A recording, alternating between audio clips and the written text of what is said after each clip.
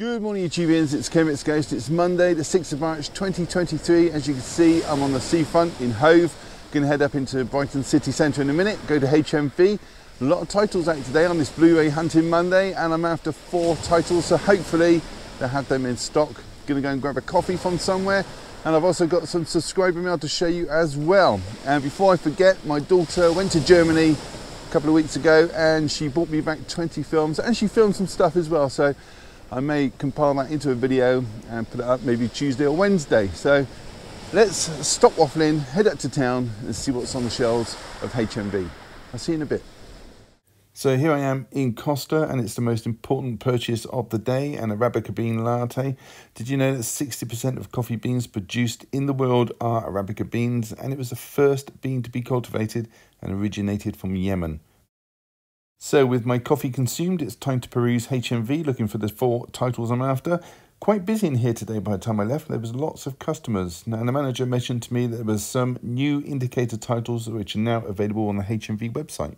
So the first title to show you is Violent Night, starring David Harbour and John Leguizamo. It's an action comedy from the director Tommy Wirkola. It's put out by the Universal Studios label. Blu-ray is $14.99, DVD is $9.99. And I just wanted to point out another film that's not getting a Blu-ray release over here. It's She Said, starring Carey Mulligan, Samantha Morton and Ashley Judd. It's only available on DVD in the UK and it's nine ninety nine. Okay, so the Westworld box set came out today. It's got four seasons and a total runtime of 2,184 minutes. This is from Warner Brothers. Absolutely brilliant show. Fifty nine ninety nine for the Blu-ray set or 10 cheaper if you want to go down the DVD route. Those spider hubs are a little bit tight, but they have been experiencing a lot of theft lately in the store. Season 3 of The Boys next, this time from Sony Pictures. This has got an 18 certificate and that is warranted given the contents of the show. It stars Karl Urban and Anthony Starr. $21.99 for the Blu-ray, $17.99 for the DVD, so not much in it I'd say. A couple of releases from Signal One Entertainment next, and both are Jerry Lewis films. First one is Rockabye Baby from 1958. This is priced at $12.99 and it would cost you £15.12 on Amazon, so stick with HMV today. And the other title is Who's Minding the Store from 1963. It's got a runtime 90 minutes. And alongside Jerry, it stars Jill St. John. $12.99 for this one too. Next is an Arrow release of the horror mystery flick called The House That Screamed, aka The Boarding School. Two cuts to this movie with a total runtime 105 minutes, and this is going to set you back $17.99. In the 4K section now, and they have Rocky 2 from Warner Brothers. This was made in 1979. It's an excellent movie, written, directed, and starring Sylvester Stallone. Comes with a Blu-ray and a glossy slip and is priced at $19.99. Next is the third window films release of Electric Dragon 80000V, a science fiction action fantasy from 2001. It's about an electrically charged boxer fighting an electronic wizard merged with a Buddha. Of course. Next is a Peccadillo Pictures release of Lonesome. This is a drama from last year. This was written, produced, and directed by Craig Boreham and has an 18 certificate. So next and last in HMV today is Wreck. This is a Dazzler Media release. It's a horror comedy from last year. It's a British TV show and you can expect the second season to air this year. 19.99 for this one.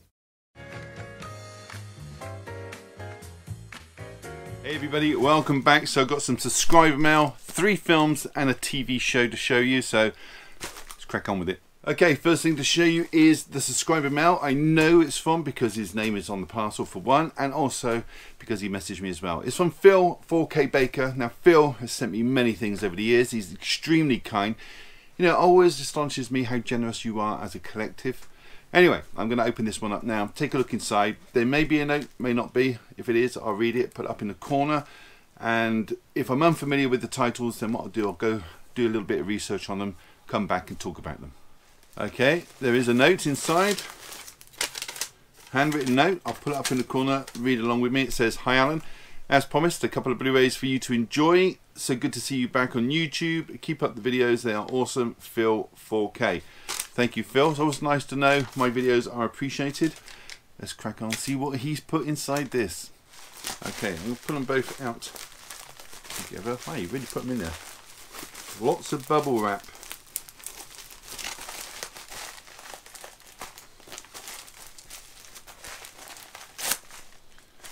Okay, there is the Alienist Angel of Darkness. Don't know about that one. And Adam Resurrected as well. So what I'll do, I'll go and have a quick read up on these so I can give you a bit of insight and then I'll pop back.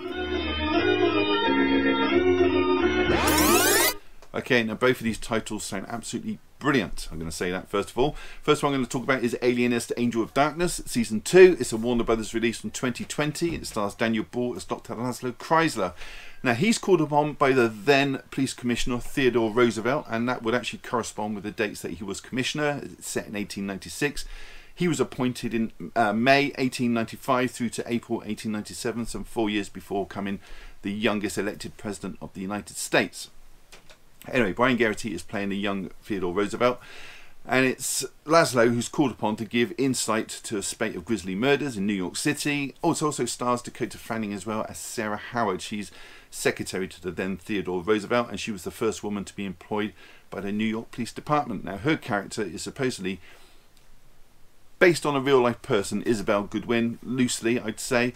And this season, I know that she leaves and becomes a private detective and she starts her own company. This show sounds absolutely awesome. Can't wait to pick up season one. There were only two seasons made, so the first season I'm going to have to import from Australia because the American one is region locked. Now, this has got a runtime of 391 minutes.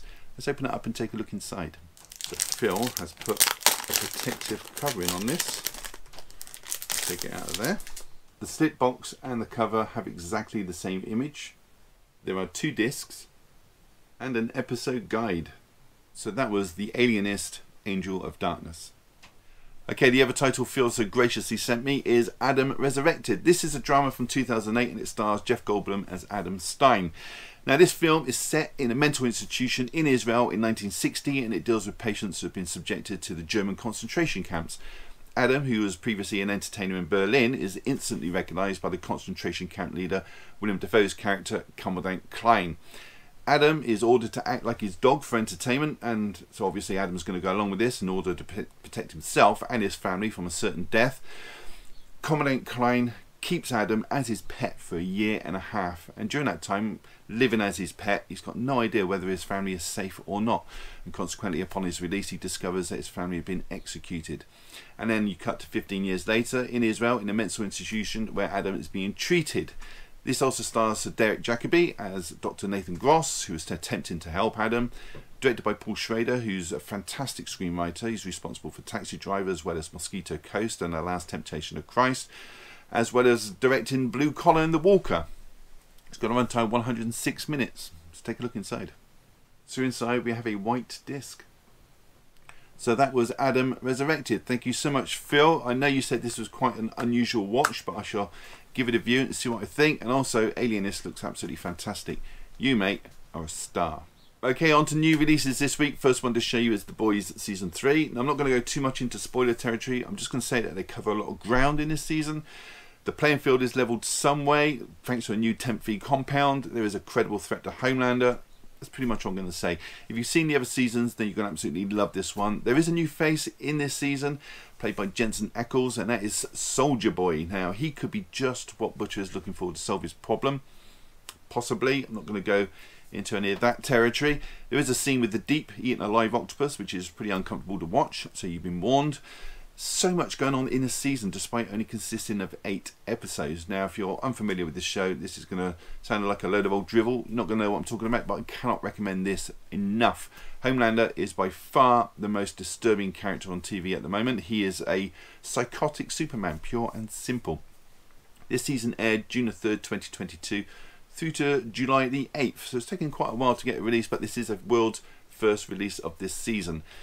It's got a runtime of 502 minutes. Let's take a look inside.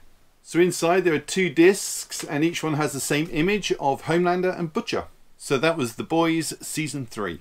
Next title is Violent Night. This is a Christmas action movie from the director of a film I've just actually ordered called What Happened to Monday, Tommy Wirkola, and this stars David Harbour as the big cheese himself, Santa Claus. Somewhat unorthodox Santa Claus, but Santa all the same. Now, during the night of Christmas Eve, Santa's doing the thing he does, deliver gifts, when he happens across a situation at the Lightstone estate. A group of ruthless mercenaries have taken a family hostage, the leader of which is John Leguizamo's character, Scrooge. He's not a fan of Christmas, hence the name, I guess. This also stars Beverly D'Angelo as Gertrude. She is the owner of the, the mansion that this all takes place in, and her family happen to have come over for the Christmas celebrations. Music in this is from a London-based composer called Dominic Lewis, whose works include Kingsman, Bullet Train and Spirited. It's got a runtime of 112 minutes. Let's take a look inside. So Violent Night comes in one of those slim cases. The image on the disc there is the same as the one on the back cover. So inside you have one of those double eco cases. So they're not really saving the planet because that's going to go in the bin. I'm going to get one that's a little bit sturdier to replace it.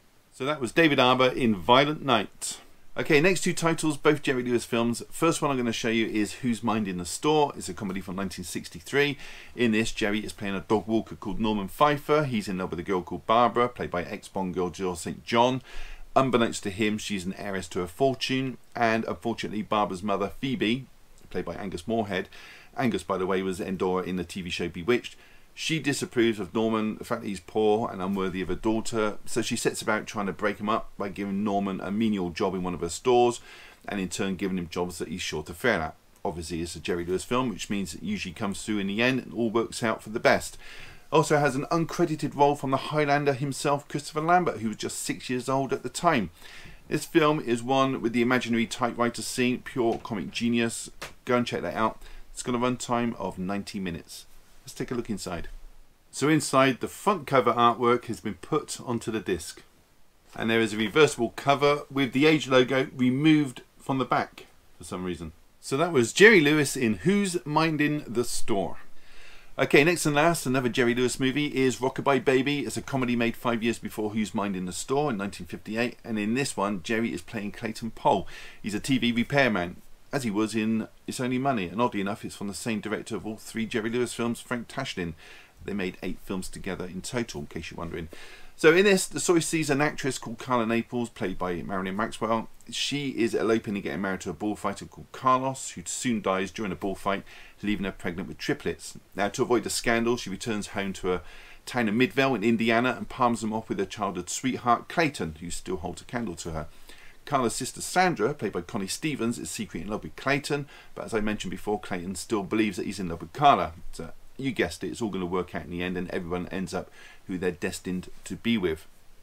Jerry Lewis's son Gary makes an appearance as a young Clayton Poole. He was 12 years old at the time of filming, and this has got a runtime of 103 minutes. Let's take a look inside. So you got the image there from the front cover put onto the disc. I do like these Signal One releases. They're putting out some fantastic films and brilliant quality. And again, there's a reversible cover with the age logo removed from the back. So that was Jerry Lewis in Rockabye Baby. Okay, before I go, thank you again to Phil 4K Baker for sending me those two fantastic titles. As I said before, mate, you are a star. Thank you. And also, I picked up, almost forgot, these two cushions from HMV celebrating the 100 year anniversary. A couple of years out now, 2021. These are the last two they had in Brighton. They came to the massive price of, I think, £1.25 each. So if you've got any in your store, pick them up. Well worth it. Really nice as well. Nice and comfy. Anyway, so that is it. Have you seen any of those titles or plan to pick them up or just want to leave a comment and do so down below and I'll get back to you if I have the time. Definitely read every one. Anyway, give the video a thumbs up. Really does help the channel and subscribe if you haven't. It's all free. Why wouldn't you? And on that note, all that's left to say is thank you so much for choosing my channel today and watching my video. Take care. I'll see you all in the next one. Bye.